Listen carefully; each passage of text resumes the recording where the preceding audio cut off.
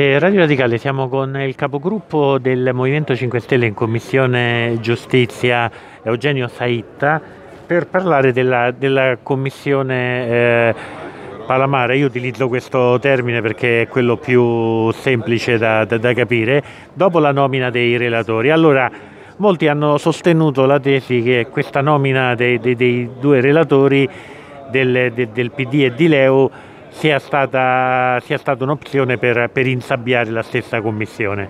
Allora, eh, cosa c'è di vero, cosa può dire rispetto alle polemiche che ci sono state e eh, sul fatto che insomma, eh, i sostenitori, i proponenti del, del, della commissione non, non hanno avuto nessun relatore? No, ma eh, io innanzitutto ci tengo a dire che eh, si tratta di pubblicità ingannevole definire questa commissione commissione Palamara, per il semplice motivo che, e lo dice anche il titolo della PDL presentata da Forza Italia, dove il primo proponente, la prima firmataria è il, la ministra Gelmini, eh, che eh, parla proprio di uso... Quando, era, quando, ancora non era ministra. Quando ancora non era ministra.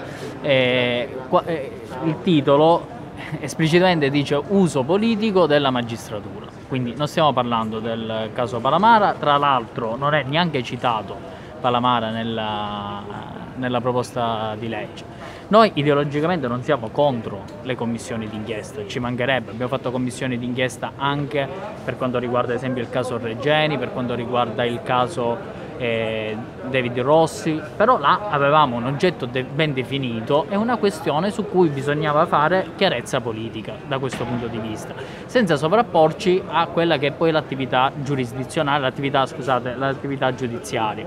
Qui abbiamo un oggetto indefinito, una, un uso politico della magistratura che sembra quasi come se il Parlamento dovesse fare un processo al, alla magistratura un altro potere dello Stato che tra l'altro ha anche un organo di autogoverno interno che è il CSM, quindi da questo punto di vista ci sembrano un po' eh, problematiche le questioni. Detto questo, eh, nessuno si è espresso contro una commissione eh, d'inchiesta su un fatto determinato.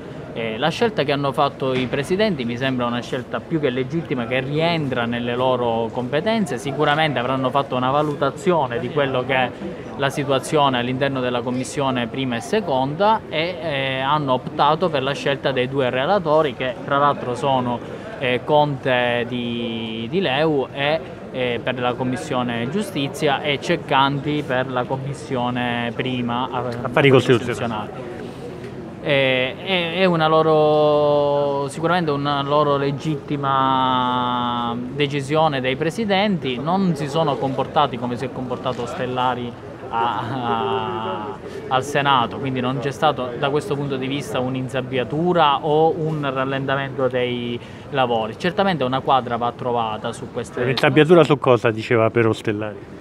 No, lei diceva eh, sembra quasi una inziabbiatura sì, sì, la nomina di questi due relatori. Io non la vedo in questo senso.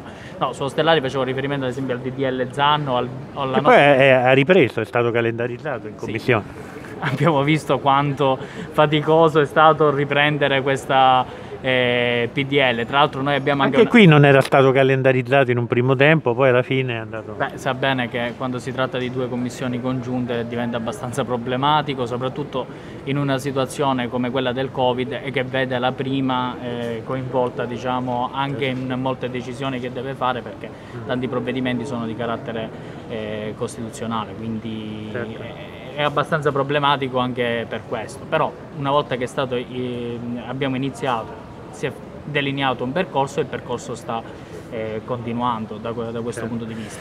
E, senta, lei avrà visto quello che sta succedendo al CSM anche dopo, le, dopo che sono uscite sui giornali le rivelazioni di questo avvocato eh, Amara.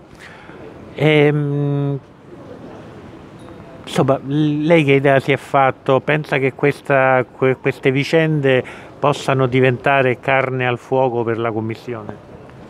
Ma eh, le vicende in sé, eh, almeno quello che leggo dai giornali, mi sembra abbastanza grave come, come vicenda, non è l'unica che sta riguardando eh, la magistratura.